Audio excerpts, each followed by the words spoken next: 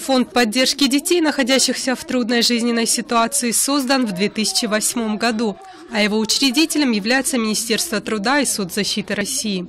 Деятельность фонда направлена на развитие эффективных форм и методов работы с нуждающимися в помощи семьями и детьми. Федеральный фонд поддержки детей, находящихся в трудной жизненной ситуации, выбрал нашу республику для проведения этого мероприятия, при том, что в целом по Российской Федерации они выбрали только 10 субъектов.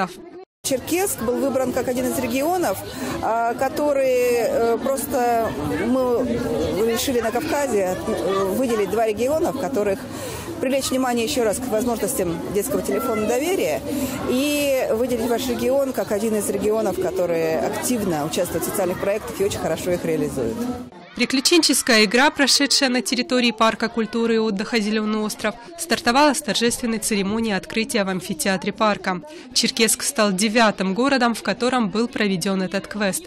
Он интересен детям разных возрастов и проводится фондом для того, чтобы повысить уровень доверия к службе экстренной психологической помощи.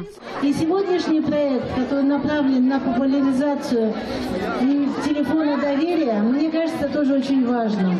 Я очень надеюсь, что ни одному из этих детей никогда не понадобится звонить по телефону доверия.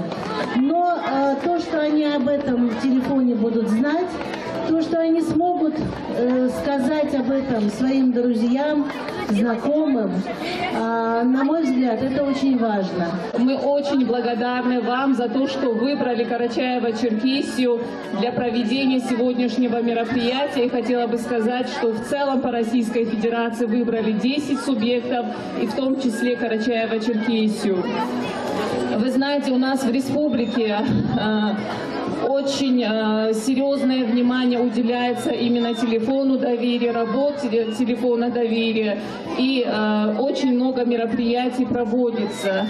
В рамках квеста всех участников игры разделили на команды, после чего вручили запечатанные конверты с маршрутом движения и 20 увлекательными заданиями, предварительно обработанными психологами. По условиям игры победительницей становилась команда, максимально быстро и точно заполнившая контрольный лист.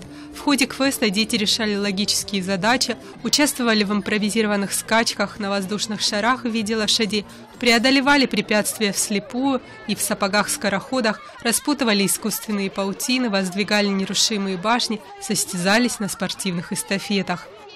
Наша команда называется «Луч солнца». Мы здесь э, уже соревнуемся с другими школами. Какое задание тебе понравилось, запомнилось? Мне понравилось задание «Лабиринт доверия». Я закрывала глаза и проходила испытания, а мои друзья говорили, куда идти направо, налево. Все юные участники квеста, а это 500 детишек, с пользой провели этот день. Не только приняли участие в занимательных играх, но и узнали полезную информацию о телефоне доверия. Единый общероссийский детский телефон доверия для детей, подростков и их родителей создан в 2010 году Фондом поддержки детей, находящихся в трудной жизненной ситуации. Звонок с любого мобильного и стационарного телефона бесплатный и анонимный. На сегодняшний день к номеру подключено 239 организаций по всей стране. Оксана Качкарова, Миха Каракелян. Итоги недели.